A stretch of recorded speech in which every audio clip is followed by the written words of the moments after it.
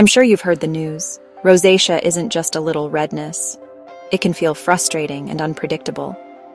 But understanding it is the first step to calmer skin. Picture this. You're at a big event, and suddenly your cheeks flare up. Red hot, maybe even bumpy. Embarrassing, right? You're not alone. Rosacea affects millions, and it's more than just a blush. So, what causes it?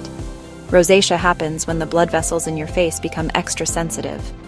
Spicy food stress, sun exposure, hot drinks, genetics, and skin type also play a role. The result? Persistent redness and sometimes bumps that look like acne. The good news? There's help. Gentle skincare is key. Use fragrance free cleansers, always wear sunscreen, avoid harsh scrubs.